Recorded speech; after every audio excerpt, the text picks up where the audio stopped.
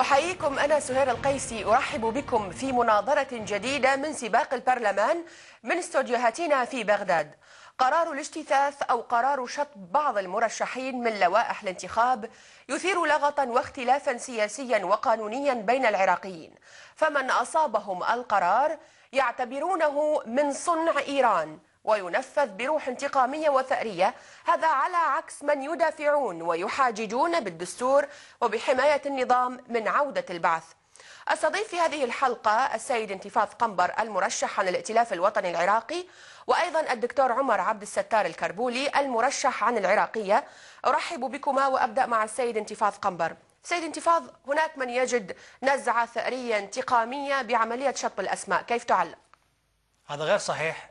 شطب الأسماء جاء بناء على تطبيق قانون تم التصويت عليه بالأغلبية في مجلس النواب وتمت المصادقة عليه من قبل مجلس الرئاسة ويظنهم الأستاذ طارق الهاشمي اللي هو داخل في هذه في قائمة آه، الحالية اللي مع اياد علاوي. فلذلك تطبيق القانون آه، إن لم يطبق القانون فسوف تحاسب هذه الهيئة لعدم تطبيق القانون لربما من من جهة النزاهة أو من جهات أخرى. ليس هناك أي إجراء انتقامي وأكرر أن القانون آه، المساءلة والعدالة يجب تطبيقه آه، وهو بالمناسبة آه، أشد وطأة من اجتثاث البعث. سيد انتفاض لكن التوقيت التي الذي حدث في موضوع شطب الأسماء قبل أقل من شهر من انطلاق الانتخابات يجد البعض بتبييت هل للموضوع يمكن هل يمكن لهيئة المساءلة والعدالة أن تنظر في الأسماء قبل أن تأتيها من المفوضية العامة للانتخابات؟ لا لأن المفوضية العليا للانتخابات أرسلت الأسماء إلى الهيئة والهيئة قامت بدورها بمراجعة الأسماء ليل نهار وحتى في العطل الرسمية. لا, لا, لا لم يكن بالإمكان مراجعة الأسماء قبل أن ترجع الأسماء من لأنه ماذا يجتثون وماذا ينظرون؟ هناك قاعدة معلومات في طيب. هيئة المساءلة العدالة قرن 6000 اسم من المرشحين بهذه قاعدة معلومات وتم الاجتثاث على ضوئها. طيب. دكتور عمر عبد الستار الكربولي كيف تنظر إلى هذا الموضوع؟ يعني بسم الله الرحمن الرحيم. أنا أعتقد هناك ثغرة كبرى آه، في المشهد الكلي للحلقات القانونية والدستورية لموضوع المساءلة والعدالة. وهناك خطأ كبير أيضا. الثغرة الكبرى حقيقة هو عدم تشكيل الهيئة الوطنية العليا للمساءلة والعدالة حسب القانون الذي أقر في 14/2/2008 الخطأ الأكبر هو أنه آه، ومع الأسف كل القوى السياسية والمؤسسات الدستورية في البلد تعاملت مع الهيئة الوطنية لاجتثاث البعث المنحلة وكأنها هي إيش؟ وكأنها هي هيئة المساءلة والعدالة. الثغرة شوف هسه أنا أقول لك يعني. مثلا يوم 14 2 صدر قانون المساءلة والعدالة يوم 11 3 2008 السيد رئيس الجمهورية يخاطب مجلس النواب يقول ولعدم تشكيل هيئة المساءلة والعدالة المنصوص عليها في هذا القانون والمخولة بتنفيذ أحكامه وحيث أن الهيئة أعلاه ترتبط بمجلس النواب فقد دسب رئيس الجمهورية إشعاركم بالإعاز إلى هيئة اجتثاث البعث للتوقف عن اتخاذ قراراتها لكونها غير مخولة بتطبيق أحكام قانون المساءلة والعدالة وأن القرارات التي أصدرتها أو تصدرها بعد نفاذ هذا القانون تعد باطلة ولا قيمة لها قيمة لها قانونيا سنة هذا الكلام؟ هذا في في الكتاب واحد 41 19 في 11 3 2008 أي بعد شهر من صدور قانون المساءلة والعدالة. طيب. اثنين مجلس النواب في 8 4 2008 بعد آه، الكتاب مال رئيس الجمهورية بشهر كتب إلى آه، الهيئة الهيئة اجتثاث البعث المنحلة أنه آه، آه، يؤكد فيه كتاب السيد رئيس الجمهورية. الأمانة العامة لمجلس الوزراء في كتابها 16831 في 11 7 2008 تقول ونظرا لنفاذ قانون الهيئة الوطنية العليا للمساءلة والعدالة المنشور في الوقائع في 14 2 تنسب ما يلي واحد اثنين.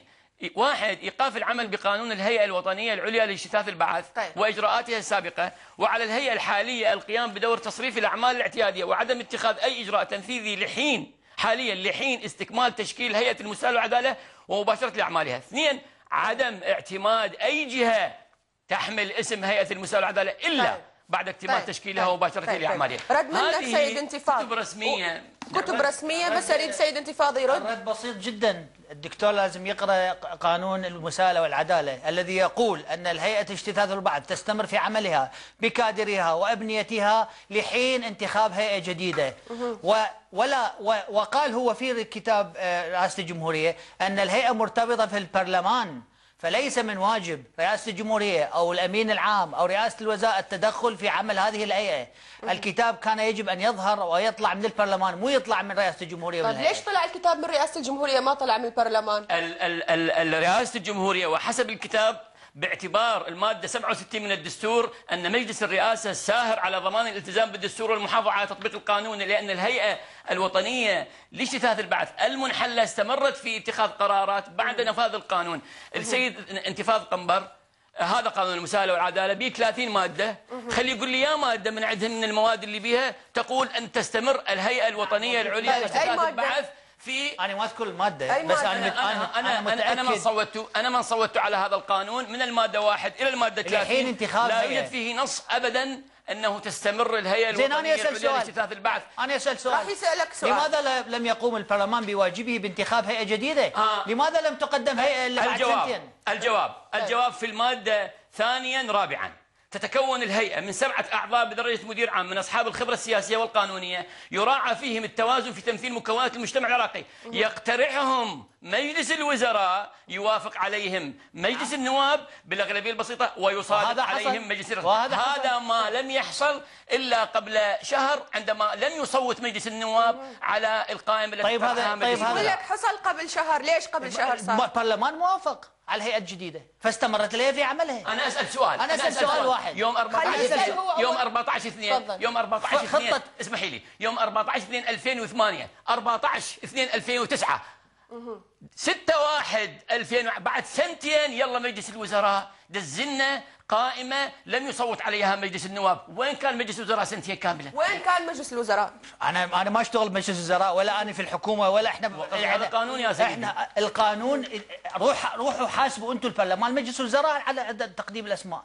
أما كهيئة كأحمد شلبي كعلي اللامي بما هو بما بما بما بما معني بهم هم عليهم تأدية الواجب. بعدين طيب. خطة فرض القانون أهملت الهيئة وأرجع أكثر من 7000 ضابط بدون الرجوع إلى الهيئة من هم أعضاء فرق فما فوق. من 14 قائد فرقة 12 واحد هم آه، قد يشملون بالاجتثاث لم يرى لم تراجع الهيئة لمدة سنتين هذا ما يعكس حال من الفوضى بالساحة العراقية. إذا لا أحد ينظر بقانونية الهيئات إحنا لا أحد يختار الوقت المناسب لمواضيع مصيرية مثل هذه. هذا هذه مو فوضى؟ قصور واضح من البرلمان.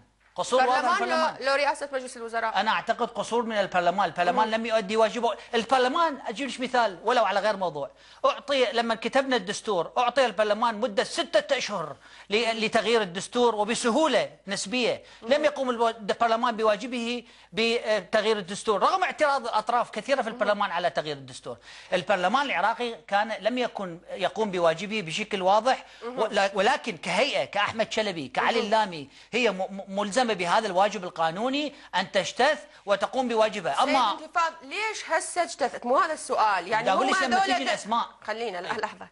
صارت انتخابات مجالس المحافظات صح؟ بشهر الواحد 2009 أشو ما سمعنا؟ ولا ما, ما سمعنا بأسماء. مو هذه الأسماء شاركت. 500 أكثر كيف شاركت؟ أكثر من 500 اسم طيب. اشترك في, في, في انتخابات المحافظات. شلون هم أعضاء في مجلس النواب؟ القضية قضية سياسية. لما نشت... لما نشتثت لما لما اشتثت أس... صح. خل أكمل خل أكمل. لما نشتثت الأسماء في في انتخابات المحافظات لم تقم الدنيا وتقعد. أنت قلت صح. الان صح. الان الان أجيب. بس خلي يجاوب خل أكمل حكايتي خل أكمل حكايتي أنا أجيب. لما هو شخص. هو شخص. خل أكمل.